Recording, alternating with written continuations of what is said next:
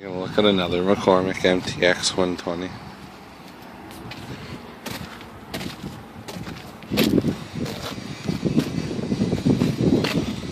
I forget what this thing's called, but it's basically a rotary tiller with straight tines. Can't even think straight today. Yeah, it's a McCormick MTX 120.